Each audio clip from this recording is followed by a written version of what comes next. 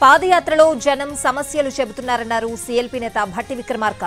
ఇన్నాళ్ళు ప్రజలకు ఏమీ చేయలేకపోయాననే బాధ కలుగుతోందని అన్నారు. ముఖ్యంగా అడవి బిడ్డలను ప్రభుత్వం అడవికి దూరం చేస్తోందని అన్నారు ఆయన. ప్రజలు ఆగ్రహంతో ఉన్నారంటున్న భట్టితో మా ప్రతినిధి చారి ఫేస్ టు ఫేస్.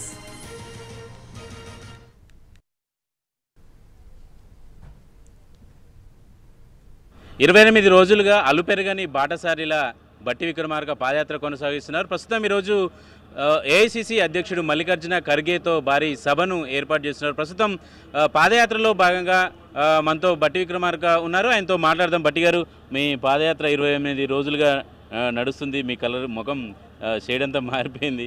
ఎలా ఉంది సార్ పాదయాత్ర ఎక్స్పీరియన్స్? పాదయాత్ర చేస్తూ ఉంటే ప్రజల బాధలు కష్టాలు ఇవన్నీ చూసి నిజంగా మనం తెచ్చుకున్న తెలంగాణ సార్థకం అవుతుంది అని అంటే పూర్తిగా అన్యాయం అయిపోతుందేమో తెలంగాణ అనేటువంటి బాధ కలుగుతా ఉంది. ముఖ్యంగా ఆదిలాబాద్ మనందరం ప్రేమించేటువంటి అడవి బిడ్డలు అమాయకులైనటువంటి ప్రజాని. ఏపుగా పెరిగిన ఉన్నటువంటి అడవులు అడవిల్లో ఆకులు ఆకులు ఎట్లో చెట్లు ఆ అడవిలోనే జీవితం ముగించేటువంటి అడవి బిడ్డలు ఈ రోజు అల్లాడిపోతారు వాళ్ళ పోడు భూములకు సంబంధించినటువంటి పట్టాలు భూములు ఇంతవరకు ఇవ్వట్లేదు. గతంలో ప్రభుత్వాలు ఇచ్చినవి కూడా తొలగిస్తాం వాళ్ళ బాధలు చెప్తా ఉంటే వర్ణాతి అందుకే నాకు అనిపిస్తా ఉంది తెలంగాణలో ప్రజల కోసం మరో పోరాటం రావాల్సిన అవసరం ఉందేమని కూడా భావం కలుగుతాం బెల్లంపల్లి కానీ చెన్నూరు కానీ మంచిర్యాలు కానీ లేకపోతే ఆసిఫాబాద్లో కొద్ది భాగం కానీ చూస్తే బొగ్గు గనులు నల్ల సూర్యులుగా పిలుచుకునేటువంటి ఈ ప్రాంత ప్రజలు ఈ ఈ- రాష్ట్ర ఆస్తులకి దేశ సంపదకి వారి చెమటను దారబోసినటువంటి ప్రజానికం ఈరోజు ఉద్యోగాలు లేక అల్లాడిపోతాం మన రాష్ట్రం మన సంపద మన ఉద్యోగాలను మనం పోరాటం చేసి తెచ్చుకుంటే తెచ్చుకున్న తెలంగాణ రాష్ట్రంలో మన సంపద మన గనుల్ని ప్రైవేట్ వాళ్ళకి చెప్తా ఉన్నాం. సరే ఇప్పుడు కల్మషం లేని అడవి బిడ్డలతో మాట్లాడుతున్నప్పుడు కావచ్చు మీరు అందరితో ఇంటరాక్ట్ అవుతున్నారు.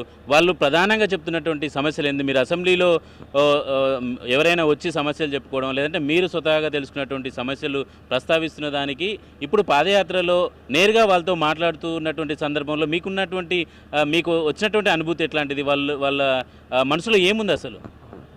వాళ్ళతో మాట్లాడిన తర్వాత ఇన్ని సంవత్సరాల నా ప్రజా జీవితం సరిగా న్యాయం చేయలేదేమో అనే భావం ఆందోళన కూడా కలుగుతాం. ఈ అడవి వాళ్ళదే ఆదివాసీలని మనం అందుకే అంటాం. అసలు అడవిలో ఆదివాసీలు వాళ్ళ అడవి వాళ్ళ సొంతం అయితే ఇవాళ వాళ్ళది కాదని బయటపడేస్తా ఉంటే వాళ్ళు ఎవరు చెప్పుకోవాలో తెలియక నా దగ్గరికి ఆ మేశ్రం వంశస్థుడు వాళ్ళు ప్రత్యేకంగా దేశంపై ఒక దగ్గర కూర్చోబెట్టి మాట్లాడారు. గతంలో ఎట్లా ఉండేది జీవితం? కనీసం అడిగితే ఐటీడీ వాళ్ళు అధికారులను వచ్చి సాయం చేసేవాళ్ళు.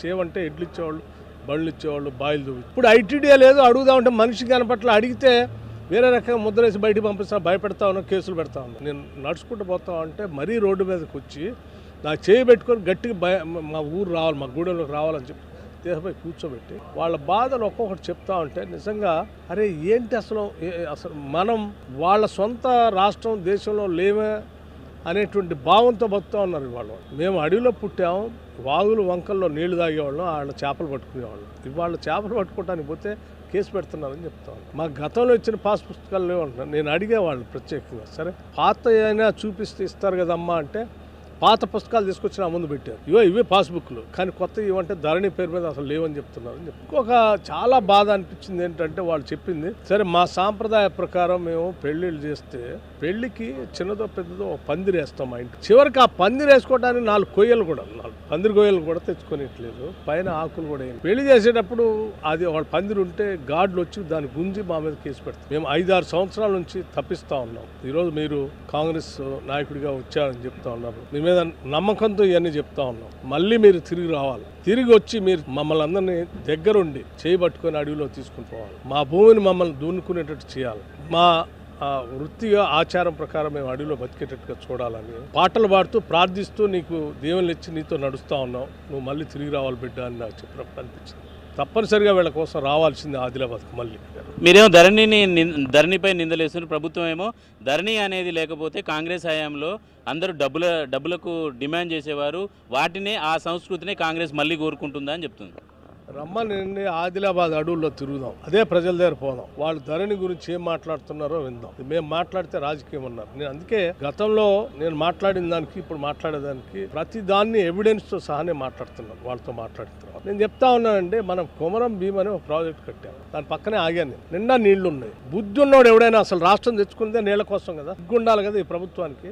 దాంట్లో నీళ్ళు ఉన్నాయి. ఆ నీళ్ళని లెఫ్ట్ కెనాల్ రైట్ కెనాల్తో నీళ్ళు కొద్దిగా బాగు చేసి కాలువలు బాగు చేసి పొలాలు తీసుకెళ్ళొచ్చు కదా. తొమ్మిదేళ్ళ నుంచి ఏం చేస్తున్నారు వీళ్ళు?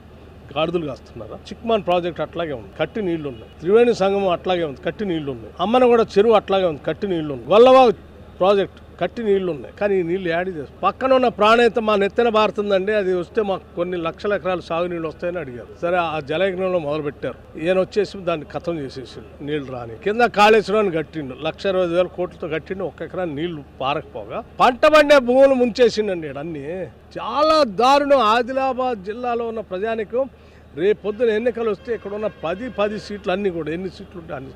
అసలు అడ్డంగా టీఆర్ఎస్ ఓడించడానికి సిద్ధంగా ఉంది. వాళ్ళందరూ అనుకునేది ఒకటే అసలు మేము ఏదో పరాయి దేశంలో బతున్న సెకండ్ గ్రేడ్ సిటిజన్స్ లాగా మమ్మల్ని చూస్తుంది ప్రభుత్వం అనే భావనలో ఉంది. బట్టి గారు ఈరోజు ఖర్గేని బట్టి పాదయాత్రలో భాగంగా ఇక్కడ సభ ఏర్పాటు చేయడం ఏఐసిసిలో పూర్తి స్థాయిలో బట్టి గారికి పూర్తి మద్దతు వచ్చిందనుకోవచ్చా? పార్టీ ఎప్పుడు కూడా కాంగ్రెస్ పార్టీలో కింద నుంచి ఏసీసీ స్థాయి దాకా మొదటి నుంచి ఉన్నాను. కొత్తగా ఇప్పుడు నాకు కొత్తగా మద్దతు రావటం రాకపోవటం అనేది అది అంశమే కాదు. ఖర్గేతో ఏం చెప్పించాలనుకుంటుంది సార్? ఆదిలాబాద్ జిల్లాలో కాంగ్రెస్? జై భారత్ సత్యాగ్రహ సభ పెట్టి ఈ దేశంలో ప్రజాస్వామ్యాన్ని కాపాడాలి. భారత రాజ్యాంగాన్ని అందించినటువంటి బాబాసాహెబ్ అంబేద్కర్ గారు కోరుకున్నది కూడా అదే. అందుకే ఆయన జయంతి రోజు మంచిర్యాలలో మొట్టమొదటిసారి జై భారత్ సత్యాగ్రహ సభ పెట్టి దేశానికి ఒక ఇక్కడ నుంచి ఒక సందేశం దశ దిశ నిర్దేశం తెలంగాణలో ప్రభుత్వం భూములు ఇబ్బడి ముబ్బడిగా అగ్గువ రేట్లకి వ్యాపారస్తులకి కట్టబెడుతుంది తన సన్నిహితులకు కట్టబెడుతుందని